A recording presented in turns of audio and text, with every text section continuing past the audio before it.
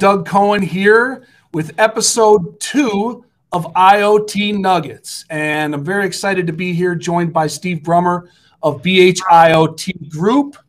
And if you watched the introductory episode, and if you didn't, you should go back and check it out.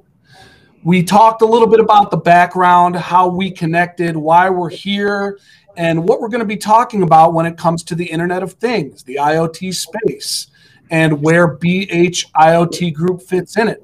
Today's topic, we teased it a little bit at the last episode at the end there, is really about how IoT and an IoT deployment is really hard. It's hard. There's a ton of moving parts and a lot of things that go into bringing an idea to market end to end. And that's where BHIoT Group comes in to make that a little easier, right, Steve? I want you to talk a little bit about why it's so hard, but where you and your firm fits in to make it a little bit easier. Thanks, Doug. Our, our clients range from vendors within the ecosystem to enterprises that are trying to figure it out. For a vendor that comes to us, we try and understand a little bit more about what they have built, what their technology does, and fit and where it fits within the stack. Because the stack is wide and deep.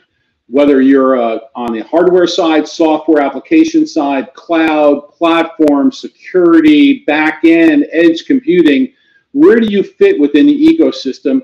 And then what is your go to market strategy need to be in order to be successful at selling it within the ecosystem itself?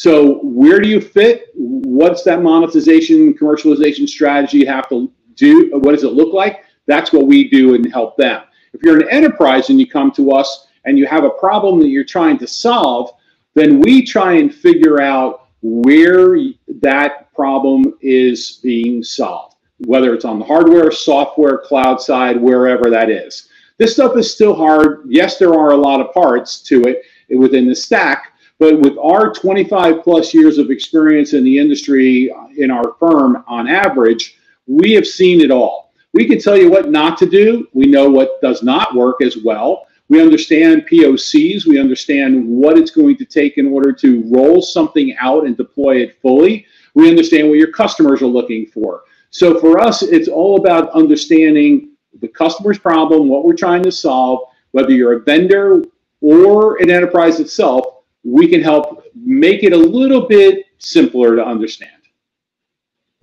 So it would seem to me that a big part of the value that you and your firm provides is knowing who the players are in the space and who does what well. Because to me, if I'm trying to bring an idea to market and I have an idea of what vendors might do this for me or might be able to help me do it, to try to pick up the phone or try to do my own research or figure out who does what is probably a pretty daunting task if I don't know where you folks have worked with everybody already. You know based on the idea and what the solution looks like who the best players are to bring in to make that happen. So right? I mean that's yeah. big part I mean, of what you do. Yeah i mean if you look at the experience that we have over the last 25 years we've met a lot of people some of them are not there anymore but uh, the people that are in the ecosystem a lot of companies come to us just for our connections whether they're into carriers or module manufacturers or cloud providers they come to us because we know who to go to that's going to be best to partner with or best to use in order to solve your problem. And that is why, for us, many companies come to us just to make sure that they are not going to make the mistake and go to a wrong partner or vendor. I mean, it's it's the enterprise version of, hey, I got a guy. Oh, you got a guy? Yeah, I got a guy. I mean, that's a lot of that's that. how things get done. It's true. So, all right, well, that's great to know. Um, and I want to remind everybody a couple of things. So, first of all, make sure you go to bhiotgroup.com. That's the website. You can find out all the information you need, and there's a contact button there up at the top where, if you want to continue a conversation with John and Steve, you fill out a form and set something up.